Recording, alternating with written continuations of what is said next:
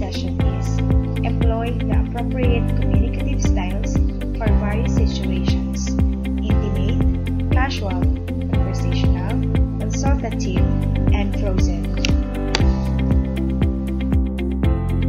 For the lesson, let us have some warm-up questions.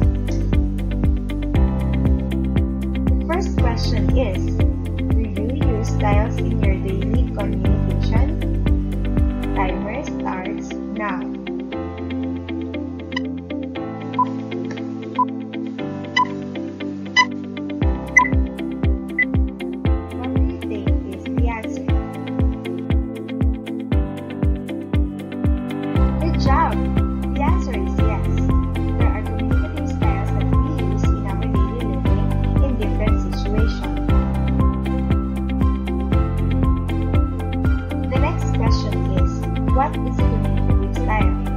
Timer starts now.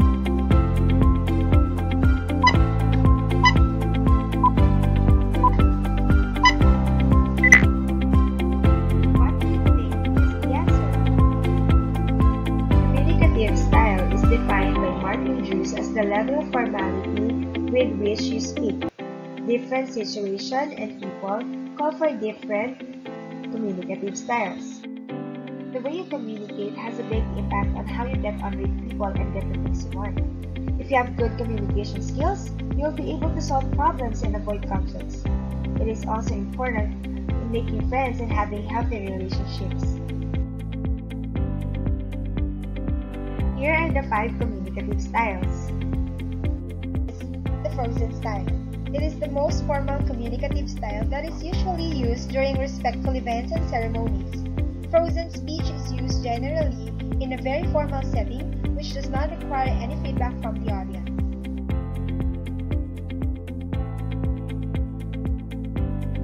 Frozen style usually uses long sentences with good grammar.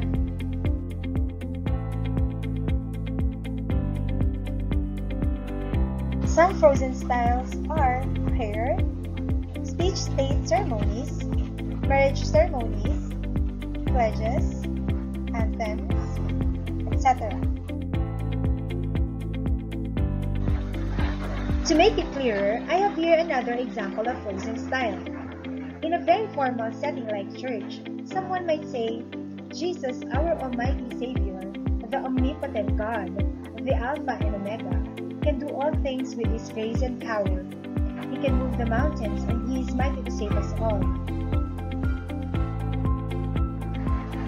Next is the formal style. It is a communicative style used in official setting or interview. In a formal style, speaker must prepare whole sentences ahead before they are delivered. And you avoid using slang terminologies. In which situation do we use formal style? We use formal style in meeting, speeches, school lessons, court, corporate meeting, swearing in ceremonies, interview, etc. Here is another example of formal style. The man interviews the woman. He asks her to tell something about herself. Since it is an interview, she definitely prepared for it. The third one is the casual style. It is a communicative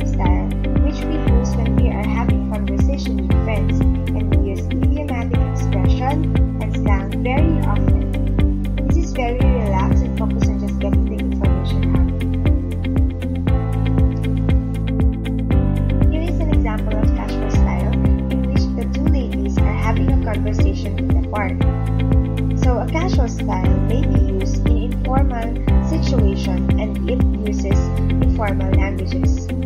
So the relationship between the speaker and the hearer is closed.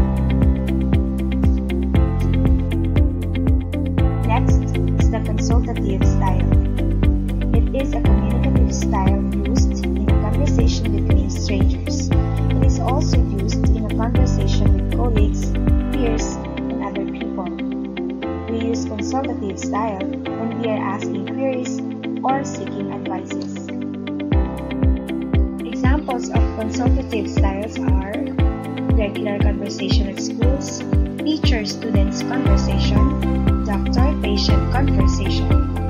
It is used in semi-formal communication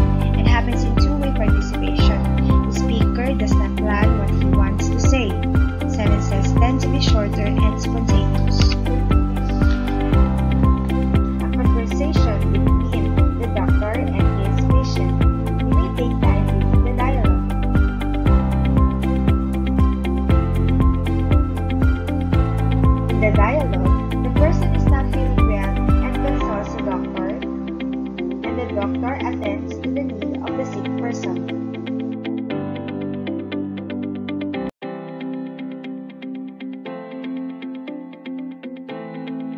Number 5 is the intimate style. It is a communicative style used in a private conversation between two persons who know each other extremely well. In the intimate style, complete private language is used within family or very close friends or group. It uses personal language codes and grammar is unnecessary. It does not need complete language and it uses certain terms of endearment, slangs, or expression. I will show you another example of intimate style. Here is a conversation between a mother and a son in which the son is greeting his mother a happy Mother's Day and they use terms of endearment in the dialogue.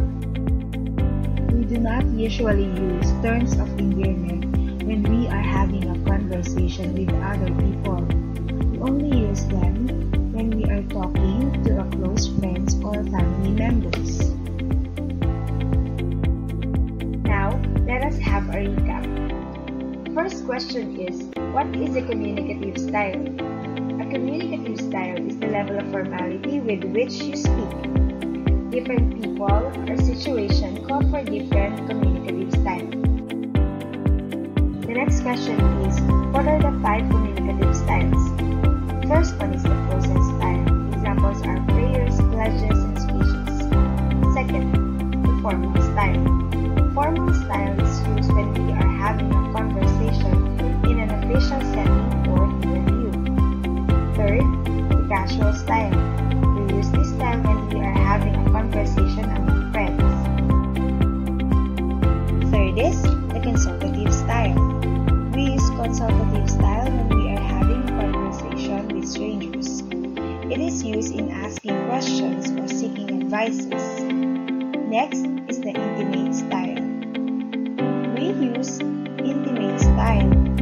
having a conversation privately with our family member or close friends. At this point, turn your activity sheet to enrichment part. Reminder, do not write anything on this activity sheet. Write your answer on a separate long bond paper.